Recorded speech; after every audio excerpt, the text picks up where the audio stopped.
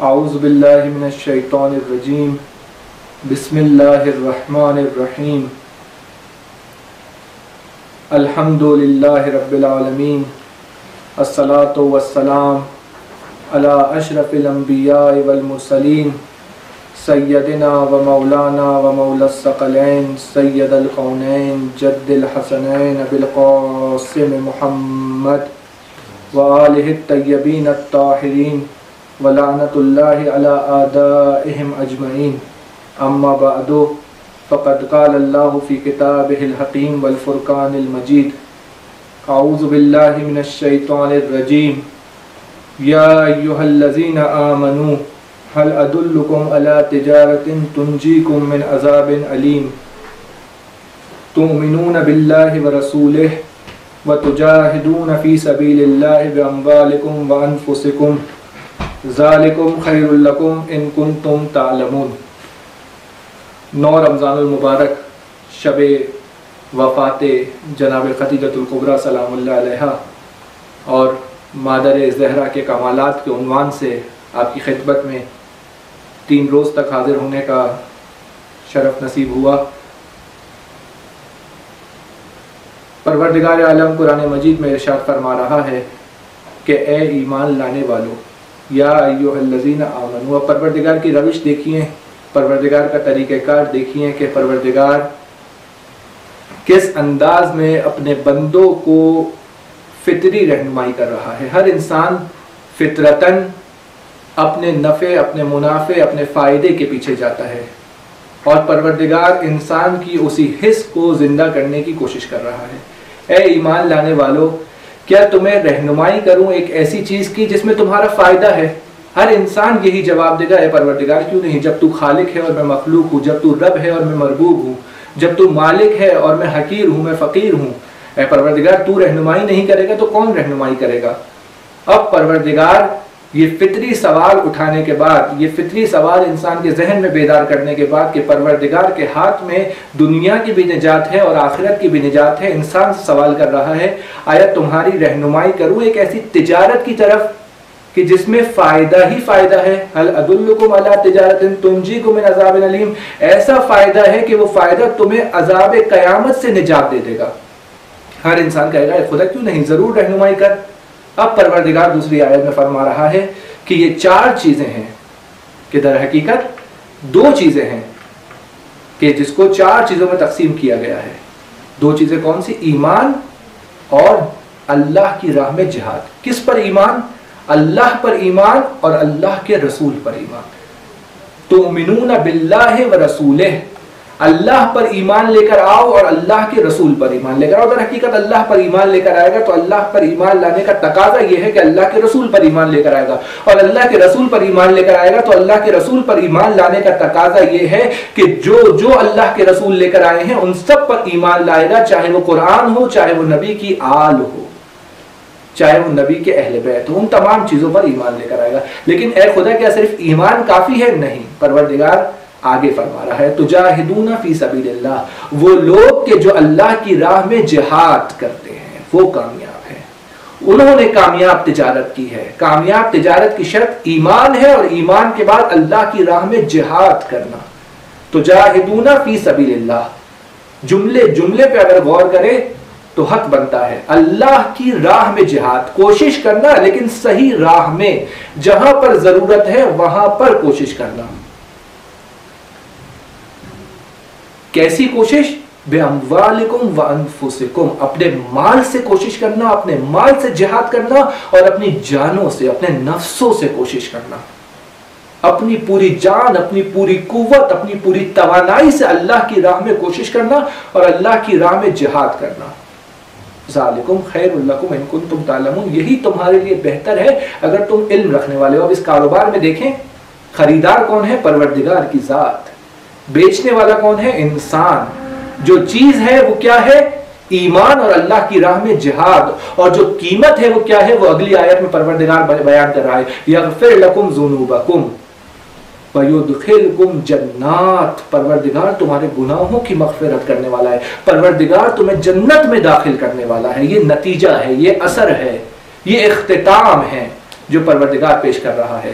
अब मासूमिन सलाम की जवात मुकदसा इन आयात की और इन सिफात की अतम में मिजदाक है, लेकिन इसके अलावा भी हमारे पास मसादी मौजूद है कि जिसकी याद मनाने के लिए, जिस बीबी की याद मनाने के लिए हम यहाँ पर जवा हुए हैं। मादर जहरा जनाब खतीजतुल्कुबरा सलाम की ज़ात। कि आप देखें, इस ज़ात के अंदर तमाम सिफात, तमाम कमालात जमा हो गए हैं। आज शब वफात है, मैं चाहता हूँ बीबी के हवाले से खसूसी गुफ्तु की जाए और इंशाल्लाह आने वाली गुफ्तु में बीबी का इन्फाक बयान किया जाएगा कि किस तरीके से पैगंबर की राह में बीबी साबित कदम रही, किस तरीके से अपना सब कुछ पैगंबर की राह में कुर्बान कर दिया और उसके बाद वाली गुफ्तु में अल्लाह की नज़र में, कुरान की नज़र में, अहल ताहरीन की नज़र में, ज़ियारात और मासूमीन की रिवायात की नज़र में जनाब खतीजा का मकाम आखिरी गुफ्तु में आपकी खिदमत में बयान किया जाएगा। इस गुफ्तु में चाहता हूँ, जनाब खतीजतुल्कुबरा सलाम की तकरीबन 20 के करीब सिफात आपकी खिदमत में पेश करूँ। जनाब खतीजा की जात वो जात है कि जो सबसे पहले अल्लाह की जात पर ईमान ला रही है। तो उमिनून बिल्लाह व रसूल कुरान किया है सबसे पहले अल्लाह की वहदानियत पर, अल्लाह की रुबूबियत पर, अल्लाह की खालिकियत, अल्लाह की मालिकियत पर जो ज़ात ईमान ला रही है, रसूल की पैरवी में वो जनाब खतीजतुल कुबरा की ज़ात है। और ये अहल सुन्नत और अहल तशैय आमा और खासा दोनों की रिवायात के मुताबिक खातन में सबसे पहले ईमान लाने वाली ज़ात जनाब खतीजतुल्कुबरा सलाम की ज़ात है। सिर्फ़ खुदा पर ही ईमान नहीं लाई, बल्कि जब पैगंबर पर वही नाजिल हुई भी पैगंबर किसी को बयान नहीं कर सकते, जनाब खतीजतुल्कुबरा तस्दीक कर रही है, ताईद कर रही है जनाब खतीजा के साथ जनाब खतीजा, वो साथ जो पैगंबर के पीछे सबसे पहले खाने काबा के अंदर नमाज़ पढ़ रही है जनाब खतीजा के साथ जनाब खदीजा की जात, वो जात के आप जाके मुहदसिन के अकवाल देखे सबसे पहले रसूल खुदा से रिवायत नकल करने वाली जात हदीस नकल करने वाली जात जनाब खतीजा की जात है। वो जात कि जब तक रसूल खुदा ज़िंदा रहे, जनाब खतीजा को याद करके गिरिया फरमाते रहे। हर जोजा के सामने पैगंबर अकरम ने जनाब खतीजा को याद किया। हर जोजा से ज़्यादा जनाब रसूल खुदा ने जनाब खतीजतुल्कुबरा सलाम से मोहब्बत का इजहार किया। हती कैफियत ये थी कि जनाब खतीजा से मोहब्बत करने वालों से भी मोहब्बत करते थे। जब कभी गोश्त कुर्बान करते थे, जब कभी गोश्त आता था तो पैगंबर अकरम सल्लल्लाहु अलैहि उस कुर्बानी के गोश्त को जनाब खतीजा की दोस्तों में भिजवाते थे, सहेलियों में भिजवाते थे।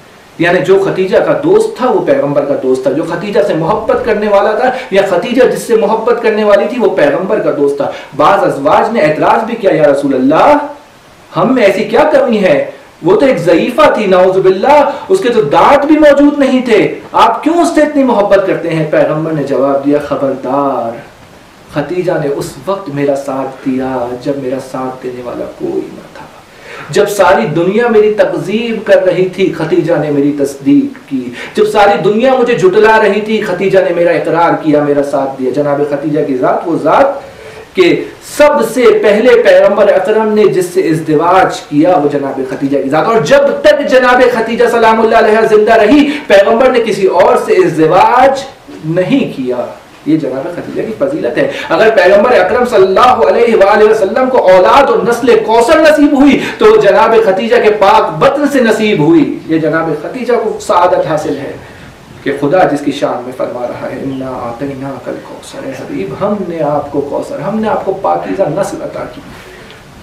ये जनाब खतीजा का मकाम है कि जनाब खतीजा पैगंबर अक्रम, जनाब जहरा, इमाम अली, इमाम हसनैन करीमैन के साथ बहिश्त और जन्नत के दरमियान खड़ी होंगी और मकाम शिफात आपको हासिल होगा। आप अपने चाहने वालों की शिफात कर रही होंगी। ये मकाम है जनाब खतीजा का। हर मुसलमान जन्नत का ख्वाहिशमंद है, लेकिन पैगंबर फरमा रहे हैं, खतीजा, जन्नत तेरी मुश्ताक है।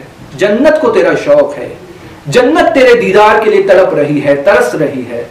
ए खतीजा, तू वो जात है जनाब खतीजा की ज़ात आप तस्वुर कीजिए, वो अरब की जाहिलियत का माशरा, वो गुमराह माशरा, वो पस्त माशरा, उस जमाने में कबलज बेसत कबरज रसूल जनाब खतीजा की ज़ात ताहिरा के नाम से मारूफ है। अरब में जनाब खतीजा का लकब है ताहिरा, पाकिजा बाइफत बाहया खातून है जनाब खतीजा। औरत का मकाम इस्लाम ने बुलंद किया है। इस्लाम ने औरत को कैद और बंद में नहीं डाला। इस्लाम ने औरत पे पाबंदियाँ नहीं लगाई। इस्लाम ने औरत के मकाम को जनाब खतीजा को इज़्ज़त दे के कुरान जनाब खतीजा का कसीदा पढ़ रहा है, खुदा जनाब खतीजा पे सलाम भेज रहा है आलमा ताहरीन जनाब खतीजा की इज़्ज़त कर रहे हैं।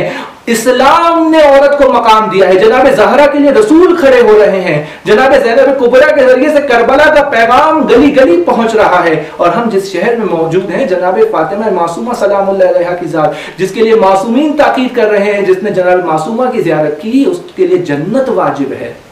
ये एक औरत का मकाम है जो इस्लाम दे रहा है। पाकिजगी उस वक्त जब पैसा भी है, उस वक्त जब दौलत भी है, उस वक्त जब शोहरत भी है, उस वक्त जब हुस्न जेबाई भी है, लेकिन जनाब खतीजा की जात ताहिरा के नाम से मारूफ है। अब जेब देता है कि इन्हीं की नस्ल की शान में खुदा मुताल कुरान मजीद में फरमाए नमा युरीदुल्लाबा ये हक बनता है कि आय ततहीर इनकी शान में नाजिल हो। वो बीबी के जिसके बारे में रसूल फरमा रहे हाज ही सिद्दीका तो उम्मती।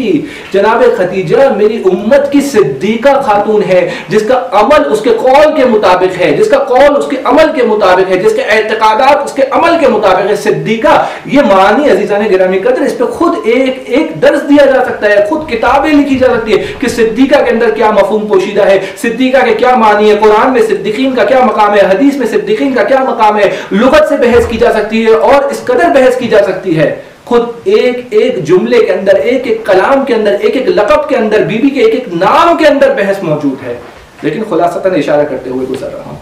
बीबी को इमाम सादिक सलाम जब एक एक औरत का एक एक सिफत शुमार कर रहे हैं। दस औरतों की इमाम सादिक ने दस सिफात शुमार की है। फला औरत में फला सिफत थी, फला औरत में फला सिफत थी। लेकिन जब जनाब खतीजा के मकाम पर पहुँचते हैं तो इमाम सादिक फरमाते हैं, जनाब खतीजा के अंदर राजिया की सिफत मौजूद थी। यानी क्या? यानी बीबी हमेशा अल्लाह से राज़ी थी। और पैगंबर अकरम की जियारत जब पढ़ते हैं तो जनाब खतीजा वो किस नाम से मुखातब कर रहे हैं? मर्ज़ी भी मर्जिया भी है। राजिया यानी क्या? यानी बीबी अल्लाह से राज़ी है। मर्जिया यानी क्या? यानी अल्लाह बीबी से राज़ी है। रब के मर्जिया। सूर्य फज्र की आय करीमा। अजीजा ने ये बीबी का मकाम है। सैयदतुल कुरैश, मलिकतुल अरब। ये बीबी का मकाम है, ये बीबी की सिफात है खैर एक हदीस नहीं, दो हदीस नहीं मुतद हदीसों के अंदर। जनाब खतीजा को खैर निसा कह के सबसे ज़्यादा बेहतरीन, सबसे ज़्यादा खैर वाली, सबसे ज़्यादा अच्छाइयाँ रखने वाली, अगर कोई खातून है तो वो जनाब खतीजा के साथ है। बीबी की वफात पर आमुल हुज्न करार दिया गया। यानी पूरा साल गम का साल पूरा साल मुसीबतों का साल, पैगंबर पर मुसीबत है। क्या हुआ शेब अभी तालिब में? शेब अभी तालिब, वो हादसा, वो सानहा तीन साल तक जब देखा कि अब कुरैश ने, अब मक्के वालों ने इकतसादी तौर पे बाइकआउट कर दिया, इकतसादी तौर पे सख्त पाबंदियाँ हैं जनाब खतीजा और रसूल के खानदान पर। अब हज़रत अबू तालिब ने कहा, मक्का रहने के काबिल नहीं रहा। अब मक्का में मोहम्मद की जान को खतरा है। अब शेब अभी तालिब में चले गए। वो वादी के जहाँ पर तीन तरफ़ पहाड़ है और एक तरफ़ खुला रास्ता है, जहाँ पे दिफा आसानी से हो सकता है और हमला मुश्किल से हो सकता है। वहाँ पे 40 जवान हैं जो हर रात हिफाजत कर रहे हैं पैगंबर अकरम की, हज़रत अबू तालिब की निगरानी में और हर रात पैगंबर के बिस्तर पर अमीर मोमिनीन सो रहे हैं। उस सख्ती में, उस मुसीबत में, उस भूख और प्यास के आलम में जनाब खतीजतुल्कुबरा साथ है। जनाब जहरा जो कमसिन है साथ है। पत्ते खा रहे हैं, जड़ी बूटियाँ खा रहे हैं, सख्ती का आलम है। लेकिन जनाब खतीजा मलिकतुल अरब, सैयदतुल कुरैश पैगंबर के साथ है। पैगंबर को तनहा नहीं छोड़ा। किसी कदम पर, किसी मकाम पर। सिर्फ़ माल से जहाद नहीं किया, बल्कि अपनी जान से भी जहाद किया। युजाहिदून फ़ी सबीलिल्लाह बिअमवालिकुम व अनफुसिकुम। माल से भी जहाद किया है और अपनी जान से भी जहाद किया है बीबी ने। जब बीबी का आखिरी मकाम आया बीबी तड़प रही है। आलम एहतजार है, पैगंबर मौजूद है, जनाब जहरा मौजूद हैं। उस वक्त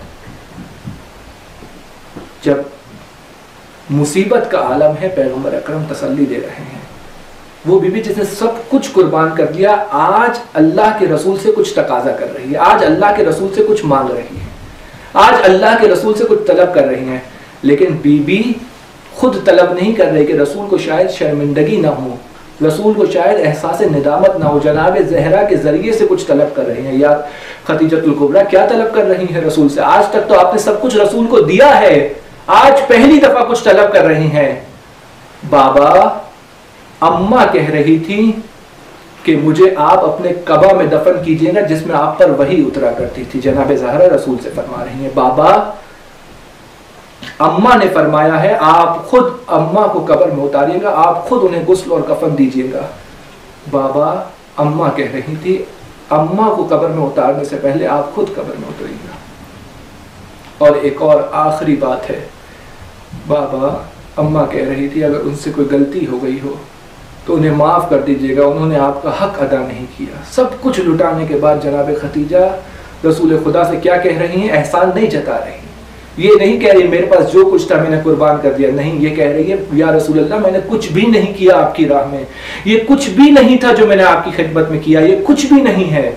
और जब जनाब खतीजतुल्कुबरा को पैगंबर दफन करके आ रहे हैं तो जनाब जहरा पैगंबर के कदमों से लिपट लिपट कर पूछ रही है, बाबा अम्मा कहाँ है? बाबा अम्मा कहाँ है? बाबा अम्मा को कहाँ छोड़ा है? बाबा अम्मा को कहाँ छोड़ा है? उस वक्त रसूल खुदा जनाब जहरा को तसल्ली देकर कह रहे हैं, बेटा, तू फ़िक्र मत कर।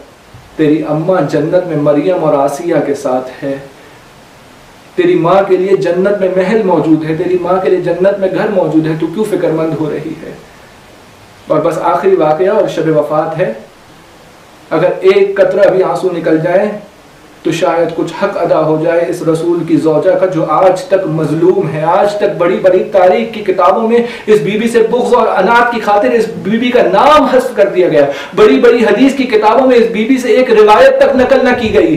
सो आज भी इस बीबी की कब्र पे जाने पर पाबंदी है। आज भी इस बीबी की कब्र के सामने खड़े होकर फातिहा नहीं पढ़ सकते, जियारत नहीं कर सकते, सलाम नहीं कर सकते। ये बीबी की मजलूमियत है। एक कतरा आँसू बीबी के लिए भेजा जंग बद्र है। कैदियों को लाया गया रसूल के सामने। और जब कैदियों को आज़ाद करने का मौका आया तो मुतालबा किया गया, जो फितिया पेश करेगा, उसको आज़ाद कर दिया जाएगा। जनाब खतीजा की बहन की बेटी है जैनब। उनका शोहर भी कैदी है, काफिर है। जब उससे फिदिये का मुतालबा किया गया तो उसने एक हार रसूल की खिदमत में पेश किया। जब रसूल अल्लाह ने वो हार को देखा, रसूल अल्लाह की आँखों से आँसू जारी हो गए। रहम अल्लाह खतीजा, ये तो खतीजा का हार है। अल्लाह उस पर रहमत नाजिल करे। असहाब देख रहे हैं, पैगंबर रो रहे हैं। मोतियों की तरह आँसू जारी है पैगंबर के रुखसार मुबारक पर, जनाब खतीजा की याद में। पैगंबर रो रहे हैं, असहाब कहते हैं, या रसूल्ला आपको इख्तियार है, आप जो करना चाहे इसके साथ करें। यह आपका माल है। पैगंबर अकरम वो हार वापस कर देते हैं उस शख्स को। जाइए अपनी जौजा जैनब को दे दे। वो खतीजा की बहन की बेटी है। जब वो पहनेगी तो जनाब खतीजा खुशी नसीब होगी। जनाब खतीजा खुशहाल होंगी। और जब जनाब खतीजा खुशहाल होंगी, मेरा दिल खुशहाल होगा। अल्लाह अर्श पर खुशहाल होगा। या रसूल अल्लाह आपने बिल्कुल सही किया। या रसूल अल्लाह ऐसा ही करना चाहिए था। या रसूल अल्लाह हक भी यही बनता है। या रसूल अल्लाह लेकिन आकाश आपकी बेटी के साथ भी कोई ऐसा ही करता। वो तो आपकी बेटी का बाग था जो जालिमों ने उन्हें न दिया। काश फकत बाग न दिया होता, आपकी बेटी को मस्जिद में जुटलाया गया। या रसूल अल्लाह आपकी बेटी पर, बेटी के घर पर जालिम आग और लकड़ियाँ लेकर आए। काश सिर्फ़ आग और लकड़ियाँ लेकर आए होते। नहीं सिर्फ़ आग और लकड़ियाँ लेकर नहीं आए, बल्कि आग जलाई गई। घर के दरवाजे पर लात मारी गई और जालिम शकी घर में दाखिल हुए।